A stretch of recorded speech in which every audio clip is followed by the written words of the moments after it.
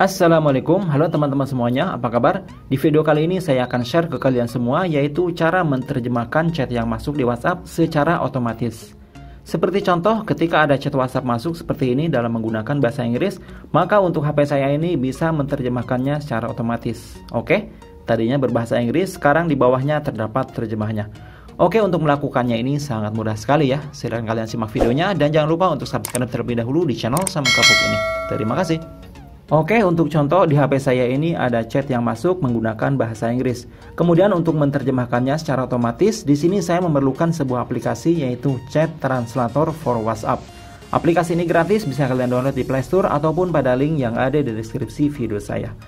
Oke, sekarang kita buka aplikasinya. Berikutnya aplikasi ini akan meminta beberapa perizinan. Kita izinkan. Ya, berikutnya kita izinkan untuk muncul di aplikasi lain. Kita klik saja di Chat Translator. Kemudian kita kembali. Berikutnya nyalakan lagi untuk perizinan lain. Nah, sekarang kita diarahkan ke menu aksesibilitas. Kalau di HP Xiaomi biasanya di sini ada layanan yang di-download, tapi kalau di Samsung biasanya layanan terinstall. Kita pilih, lalu pada chat translator kita aktifkan. Oke, kita izinkan kemudian kembali.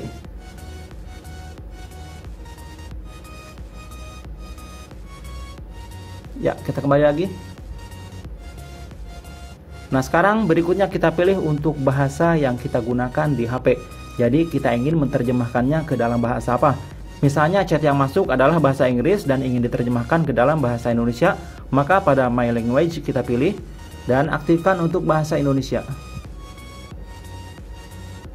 Ini dia, bahasa Indonesia. Kemudian di sini kita tentukan untuk bahasa chat yang masuk. Misal untuk chat yang masuk adalah chat bahasa Inggris. Maka di sini kita pilih yang English. Kemudian kita aktifkan di sini. Berikutnya di sini kita aktifkan pada WhatsApp ya. Nah, oke, okay, sudah selesai. Kemudian sekarang kita coba untuk membuka aplikasi WhatsApp. Ya, saya buka WhatsAppnya. Kemudian kita klik di sini kemudian pilih bahasanya Inggris.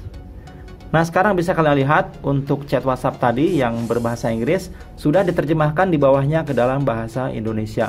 Nah kalau misalnya kalian ingin membuatnya menjadi otomatis, tinggal klik saja di bagian atas yaitu auto. Nah di sini berbayar ya, dan untuk gratis kita pilih saja untuk menonton iklan. Untung nggak sebenarnya kalau main ini? Oke setelah iklannya ditonton kemudian kita keluar dan sekarang untuk menerjemahkan secara otomatis sudah bisa dilakukan. Contoh sekarang saya kirim chat dalam menggunakan bahasa Inggris. Nah udah masuk, kemudian sekarang kita buka untuk chatnya. Maka akan secara otomatis diterjemahkan ke dalam bahasa Inggris. Tadi saya mengirimkan Hi Friends dan di sini ada terjemahnya di bagian bawah.